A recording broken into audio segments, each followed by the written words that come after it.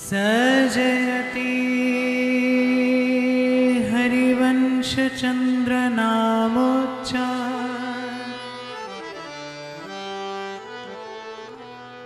वर्धित सदा सुबुद्धि। रसिक अनन्य प्रधान सतु।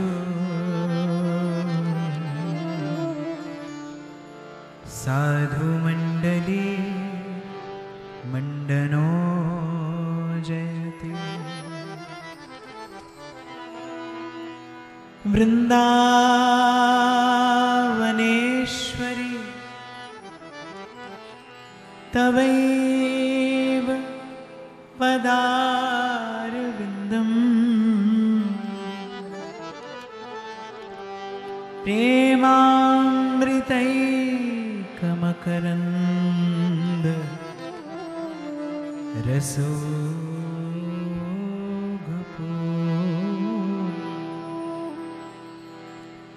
हृद्यर्पितं मधुपते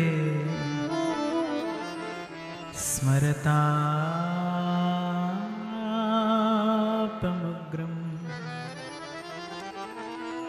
निर्वापय परमशीतलम् आश्रयामि आश्रयामि। आश्रया। श्रीराधा वल्लभलाल की महाप्रभु श्री हरिवंशचंद्र जू महाराज की श्री हित सेवक जू महाराज की श्री वृंदावन धाम की श्री यमुना रस रानी की श्री वृंदावन रज रानी की समस्त संत भक्तन की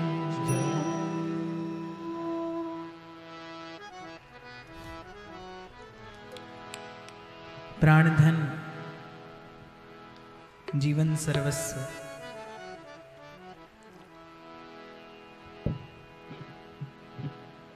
और जिनका परिचय देते हुए मुझे एक ही पंक्ति सबसे अधिक उपयुक्त लगती है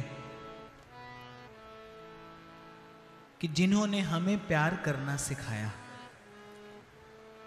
वृंदावनेश्वरी की कृपा से राधा वल्लभ लाल के एवं समस्त रसिक परिकर के अनुग्रह से इस परम पावन परम मंगलमयी, अति शुभ इस बेला में आपका, मेरा, हम सबका सम्मिलन सुयोग यहाँ श्री हिताश्रम की इस पवित्र भूमि पर, जो केवल पवित्र ही नहीं, सरस भी है, मधुर भी है, क्योंकि नित्य प्रति श्री श्यामा श्याम, श्री रास बिहारी इसे अपने चरण विन्यास से पवित्र करते हैं।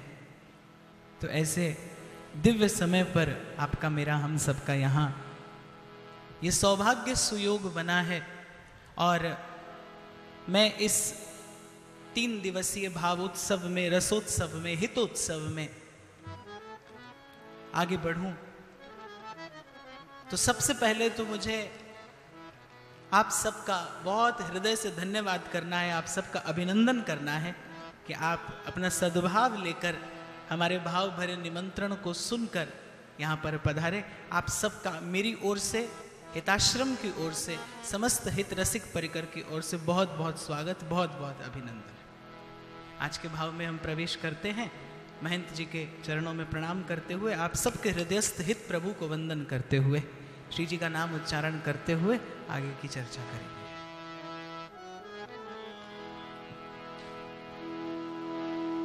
प्राण राधा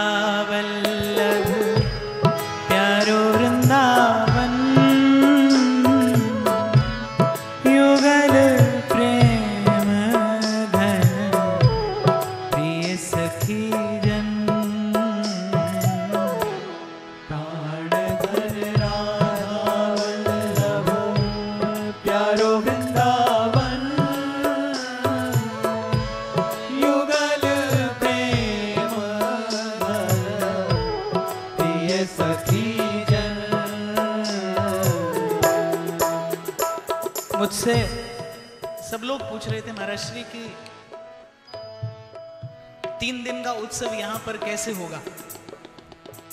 तो मैंने कहा, भाई, स्थान का अभाव भले हो, लेकिन स्थान का प्रभाव बहुत है। मैंने कहा, ना, ये भूमि केवल पवित्र ही नहीं, सरस भी है, मधुर भी है, क्योंकि रास बिहारी नित्य अपने चरण कमलों का संस्पर्श इसको प्रदान करते हैं। और ये रसोत्सव है, और रास मंडल से उपयुक्त और कोई स्थान हो नहीं सकता। रस के प्रादुर्भाव की बेला है। जीवन धन राधा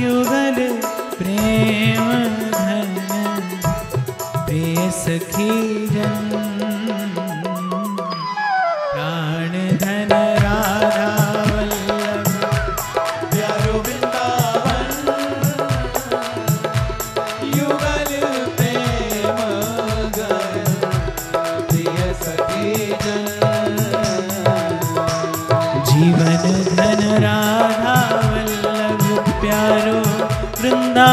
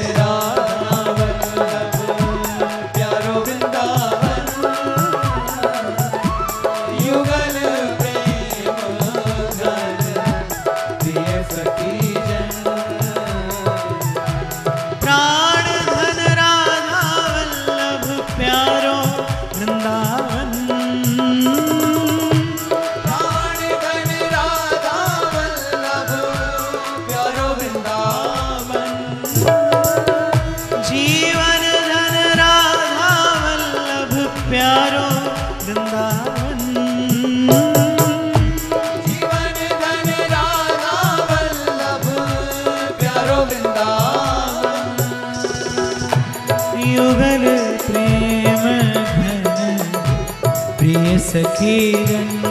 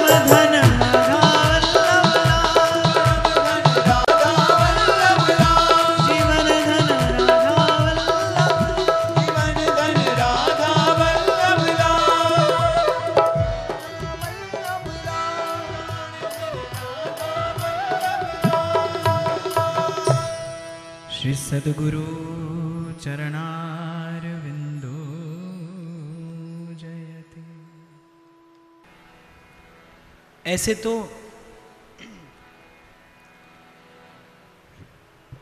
जिसके चरित्र, जिसके यश का गान करने की भावना लेकर मैं यहाँ बैठा हूँ, उसके लिए पूर्व ही अनुभव सिद्ध महापुरुष कह चुके हैं। कि जस वर्णत हारे सरस्वती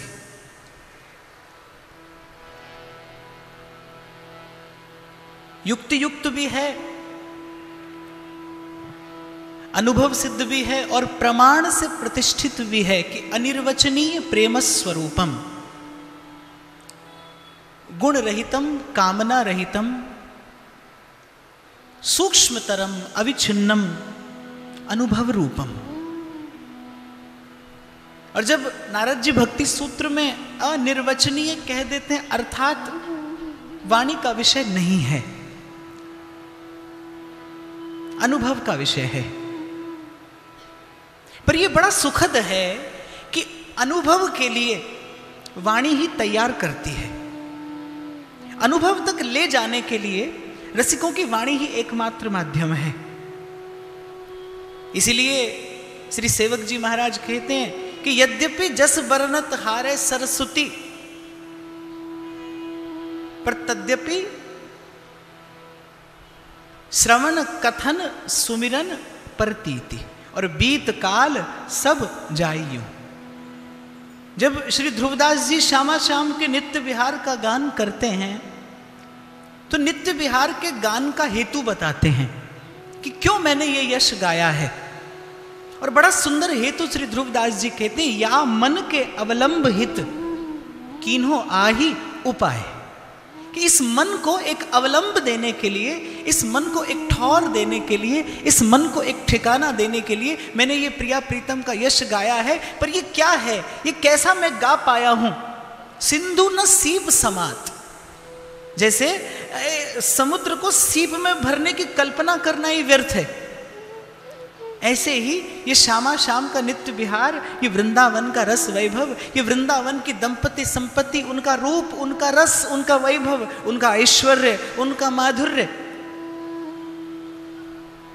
वाणी का विषय नहीं है, वाणी स्पर्श करने में समर्थ नहीं है, पर फिर भी या मन के अवलंब हित किन्हों आही उपाय। इसीलिए श्री महाप्रभु जी के चरित्र में प्रवेश करने से पहले ही मैं निवेदन कर दूँ कि जो कहा जाएगा, वो वो ठीक ठाक से संकेत भी हो, ये मैं कह नहीं सकता। मैं ठीक से संकेत भी कर पाऊँ, ये मैं कह नहीं सकता, क्योंकि जिन्होंने देखा है, जिन्होंने इन्हीं नैनों से वो सुख देखा है, जिन्होंने मन से, वचन से, कर्म से उस हित रस का अनुभव किया है, वो कहते हैं, गुण गंभीर व्यास नंदन जुके तो प्रसाद सुजस रस गाऊं। समुद्र में कितना जल है? इसका परिमाण असंभव है। इसकी परिकल्पना भी व्यर्थ है, परिश्रम है। समुद्र सन्मुख है तो फिर एक ही युक्ति है कि उसमें गोता लगाइए और रत्न प्राप्त कर लीजिए। वो कितना है, वो कैसा है, उसमें कितना जल है, ये ये चिंतन आपका मेरा विषय नहीं है। बस इसी प्रकार से मैं प्रयास करूँगा मैं आ, मैं पहले से निवेदन कर दूँ कि महाप्रभु का चरित्र कहने में आ, समर्थ कोई नहीं है। लेकिन ये रस का समुद्र इस लोक में प्रकट हो गया है तो रसिकों की कृपा से बुद्धिमत्ता यही है कि रस का समुद्र बह रहा है और गोता लगाइए और कोई भाव का कोई रूप का ध्रुवदास जी बड़ी सुंदर बात कहते हैं कि रूप सिंधु में पैठ ध्रुव सकही तो मन ही संभार। और रूप रतन तब कर परे विषया विषदय डार। हो सके तो इस रस समुद्र में गोता लगा लीजिए और कोई भाव का रत्न हाथ लग जाए। भाव का रत्न हाथ लग जाए तो अपने अपने सौभाग्य की बलिहारी जाइए। सेवक जी कहते हैं ना कि आपनो भाग आपन कहत। कि मैं अपना ही सौभाग्य अपने मुख से कह रहा हूँ कि मुझे निमज्जन करने के लिए ये हित रस का समुद्र मिल गया है। और युक्ति बताइए श्री सेवक जी ने श्री महाप्रभु जी के चरित्र का स्पर्श करने की। कई बार विचार करता हूँ कि श्री राधा वल्लभ संप्रदाय में इतना रस साहित्य है कि एक व्यक्ति के लिए उसका सिंहावलोकन कर लेना भी संभव नहीं है। यहाँ रसिकों ने इतना गाया है, इतना गा रहे हैं और गाते रहेंगे क्योंकि प्रतिक्षण वर्धमान ये रस है, नित्य नवीन ये रस है, नित्य नवीन ये भाव सुधा है, एक प्रिया प्रीतम। वही वृंदावन और वही सहचरी। लेकिन उन चारों के मध्य में उद्वेलित होने वाला वो रस ऐसा अद्भुत है वो रस ऐसा विलक्षण है कि प्रतिक्षण प्रतिदिन नहीं प्रतिक्षण वो रस वो भाव वो रूप वो सुधा वो माधुरी नवीन अ, अ, अ, अनुभव नहीं होती नवीन प्रमाणित होती है। आप देख लीजिए कि नित्य विहार से अतिरिक्त लीला के जितने भी क्षेत्र हैं उसमें बहुत लीला का विस्तार है। लीला का दर्शन करने के लिए, लीला का चिंतन करने के लिए, लीला का अनुभव करने के लिए बहुत बहुत लीलाएँ हैं। लेकिन यहाँ पर क्या है? ह अक्षर में हरि बसे, रामे राधा नाम, व अक्षर वृंदा विपिन स सहचरी अभिराम। यहाँ तो प्रिया प्रियतम उनको लाड़ लड़ाती सहचरियाँ और सबके सुख की सबके सुख का संयोजन करता श्री वृंदावन धाम। लेकिन फिर भी जिस दिन से श्री महाप्रभु ने प्रकट होकर ये रस गाया, उस दिन से लेकर अद्यावधि, जिस घड़ी आप और मैं बैठकर यहाँ चर्चा कर रहे हैं, मैं बिल्कुल सुनिश्चित कर सकता हूँ कि इस घड़ी भी यहाँ वृंदावन की कृपा से किसी ना किसी रसिक के हृदय में कोई नवीन भाव स्फुरित हो रहा होगा, कोई नवीन भाव भावना प्रकट हो रही होगी। जिस घड़ी से महाप्रभु ने वो यश गाया तब से नित्य नवीन कोई भाव प्रकट होता है। यही इसकी नित्य नवाय मानता प्रतिष्ठित है, प्रमाणित है। तो ये तो रूप का समुद्र, ये रस का समुद्र आपके मेरे सौभाग्य से प्रकट हो गया। न पहले कभी हुआ, न फिर कभी होगा। इसीलिए रसिकों ने जब मंगल गाया तो कहा, भैया हो, अद्भुत मंगल आज। अद्भुत अर्थात जो पहले नहीं था और जो फिर नहीं होगा। न भूतो, न भविष्य थी जो अपने आप में एक ही है, जो अपने आप में अनुपम है, जो अपने आप में विलक्षण है। अद्भुत मंगल आज। तो क्योंकि मैंने इससे पूर्व भी शायद सर्वप्रथम श्री महाप्रभु का चरित्र कहने का दुस्साहस मैंने यहीं पर किया था।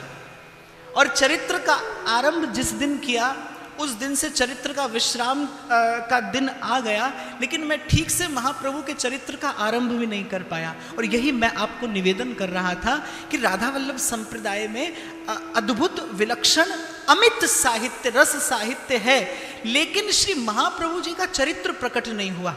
क्योंकि मेरा ऐसा छोटा सा अनुभव है महाराज श्री के कहने पर मैंने भी कई बार चेष्टा की, अभी भी कर रहा हूँ, कभी श्री जी कृपा करें और वो भाव पूर्ण हो जाए। लेकिन जितनी बार जितनी बार श्री महाप्रभु का प्रिया प्रीतम की लीला का दर्शन करके, वो ध्यान से सुनना, श्री प्रिया प्रीतम की लीला का दर्शन करके किसी पद की रचना कर देना सरल है।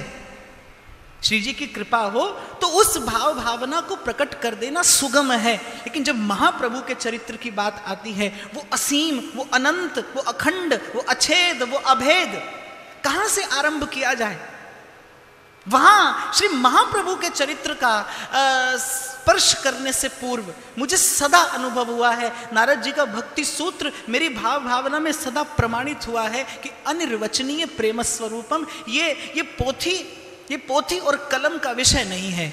सिर्फ़ एहसास है। ये रूह से महसूस करो। प्यार को प्यार ही रहने दो कोई ना ना दो। एक एक लिखने वाले ने बड़ी सुंदर बात लिखी है समझ सके ना लोग सयाने। समझ सके ना लोग सयाने, इश्क का रुतबा इश्क ही जाने। प्रेम ही प्रेम का अनुभव कर सकता है। प्रेम ही के पास सामर्थ्य है प्रेम की अनुभूति करने की। सो मैं तो केवल इतना कहूँगा कि आप और मैं, आप और मैं अपने समय का, आप और मैं अपने साधन का आप और मैं अपनी अपनी सुमति का सदुपयोग करेंगे। इन तीन दिनों में श्री महाप्रभु जी के चरित्र की उस सुधा में, उस सुधा सिंधु में निमज्जन करने का। मैं बिल्कुल ऐसा नहीं कह रहा कि मैं महाप्रभु का चरित्र कहने जा रहा हूँ। महाप्रभु का चरित्र, वो तो वो प्रेम की वो धारा है, जिसके लिए कहते हैं कि प्यार कोई बोल नहीं और प्यार अल्फाज नहीं। एक खामोशी है, सुनती है, कहा करती है। ना वो रुकती है, न थमती है, ना ठहरी है कहीं, वो नूर की बूंद है, सदियों से बहा करती है। ये ये रस का समुद्र प्रवाह मान है, प्रतिक्षण प्रवृद्धमान है। तो आप और मैं तो केवल रसिकों की वाणी का बल लेकर, रसिकों की वाणी का आधार लेकर, रसिकों की वाणी का आश्रय लेकर प्रयास करेंगे श्री महाप्रभु के इस चरित्र का दर्शन करने का। सो मैं यश वर्णन करने नहीं जा रहा हूँ। रसिकों ने जो यह यश विस्तार किया है श्री महाप्रभु का, उसमें निमज्जन करने जा रहा हूँ, उसमें गोता लगाने जा रहा हूँ और गोता लगाने के लिए, गोता लगाने के लिए आवश्यकता है किस बात की? आपने कभी डुबकी लगाई हो जल में? तो आप जानते होंगे जल में डुबकी लगाने से पहले क्या किया जाता है? श्वास रोक लिया जाता है। श्वास को साधा जाता है डुबकी लगाने के लिए। तो रूप सिंधु में पैठ ध्रुव, यहाँ इस रूप के सिंधु में डुबकी लगाने के लिए आपको किसे साधना है? ध्रुवदास कहते सकही तो मन ही संभार। सकही तो मन ही संभार। हो सके तो थोड़ा प्रयास करके दत्त चित्त होकर, रिक्त चित्त होकर यहाँ पर बैठिएगा। मैं फिर से कह दूँ, इस उत्सव का नाम हित उत्सव है, प्राकट्य उत्सव है। ये हित के प्राकट्य की वेला है और हित के प्राकट्य का हित के प्राकट्य का सबसे सुंदर कोई स्थान हित अर्थात प्रेम। प्रेम के प्राकट्य का सबसे सुंदर कोई स्थान है। हमारे डोंगरे जी महाराज कहते थे कि भगवान जब धराधाम पर अवतार लेते हैं तो तो पृथ्वी को, मानवता को बहुत लंबे काल तक प्रतीक्षा करनी पड़ती है। बड़े कष्ट सहने पड़ते हैं, बड़ी पीड़ा झेलनी पड़ती है, बड़ी बड़ी वेदना बड़ी वेदना से होकर गुजरना पड़ता है जब भगवान इस धराधाम पर आते हैं। लेकिन ये भगवान की कथा की कृपा है कि कथा की कृपा से जब चाहो, जहाँ चाहो, वहीं भगवान का प्राकट्य होता है। तो श्री महाप्रभु तो प्रकट हुए, लेकिन श्री महाप्रभु की इस चरित्र सुधा की कृपा से ये, और फिर दूसरी बात, ऋतु भी अनुकूल है और भूमि भी अनुकूल है। किसी भी बीज के अंकुरित होने के लिए बस इन्हीं दो भावों की आवश्यकता है, इन्हीं दो वस्तुओं की आवश्यकता है। ऋतु भी अनुकूल हो जाए और भूमि भी अनुकूल हो जाए। भूमि भी कौन सी है? हित की भूमि है। ऋतु कैसी है? ऋतु ऐसी है कि मधुरी तो माधव मास सुहाई। ये ये वो मधुरी तू ये वो मधुर वेला है जिसमें हित का प्राकट्य हुआ है, जिसमें प्रेम का प्राकट्य हुआ है। प्रेम के प्राकट्य की वेला है, केवल एक भाव लेकर यहाँ पर बैठिएगा कि इस तीन दिवसीय इस रस उत्सव की कृपा से, इस भाव उत्सव की कृपा से और वाणी तो त्रुटि पूर्ण रहेगी, पर इस वृंदावन धाम की कृपा से, यमुना के पुलिन की कृपा से राधा वल्लभ लाल के दर्शन और प्रसाद की कृपा से, रसिक संतों की सन्निधि की कृपा से, इस बार ये हितोत्सव, वस्तुतः हितोत्सव हो जाए, आपके मेरे सबके हृदय में उस हित का प्राकट्य हो जाए। मैं तो केवल इसी भाव को लेकर आया हूँ। और महाराज, श्री से आरंभ करने से पहले ही मैं निवेदन कर दूँ कि अगली बार से आप बुलाएँगे तो हम आ जाएँगे और नहीं बुलाएँगे तो हम ज़रूर आएँगे। क्योंकि मैंने इस बार संकल्प लिया है महाराज श्री के अनुग्रह का बल लेकर और वृंदावन धाम की और वृंदावनेश्वरी की कृपा का बल लेकर कि वर्ष भर तो ठाकुर जी मुझे सेवा के लिए जहाँ चाहे वहाँ भेजें। लेकिन हित उत्सव इसी हित की भूमि पर और इसी प्रकार हित रसिक परिकर के सानिध्य में आप सबके संग सदा यही मनाना है और प्रतिवर्ष चौगुने चाव से मनाना है।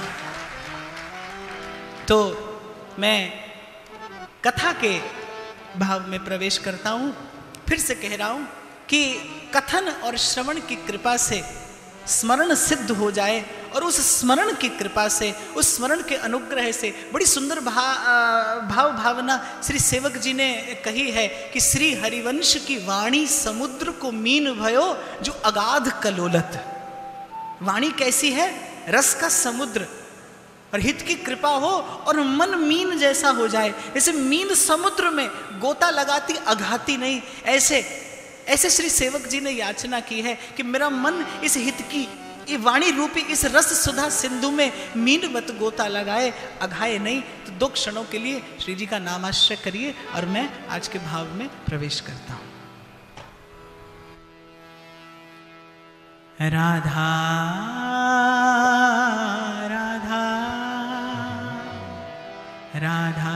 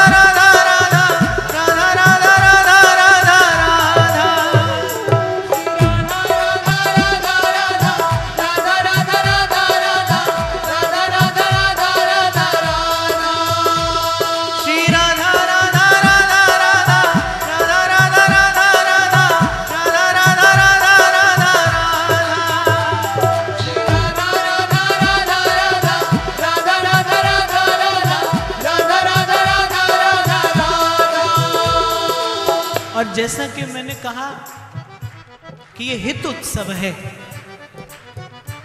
और श्री ध्रुवदास जी कहते हैं, हित का स्वभाव क्या है? करत दोइत एक। जो एक कर दे। इसलिए आप में से कोई ये विचार न करना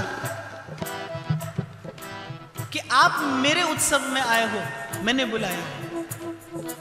आप मेरे उत्सव में नहीं आए, मैं आपके उत्सव में आया हूँ। ये आपका, मेरा हम सबका है। आप जो यहाँ पर बैठे हैं, ये आपका है सबका। क्योंकि हित का प्रथम लक्षण यही है, जो एक कर दे, जो मन से दुविधा दूर कर दे, जो मन से द्वंद्व दूर कर दे, जो एक कर दे। करत, दोइत, एक। दुविधा में भय है द्वंद्व में भय है द्वंद्व में चिंता है। वो आप लोगों से ही सुना था मैंने कभी। कि दर्द दिलों के कम हो जाते, मैं और तुम गर हम हो जाते तो बस हित है। जो हित है जो आपको और उसको दो न करके एक कर देता है। तो ये एक होने का उत्सव है। इसीलिए एक चित्त होकर, दत्त चित्त होकर, प्रेम से श्री राधा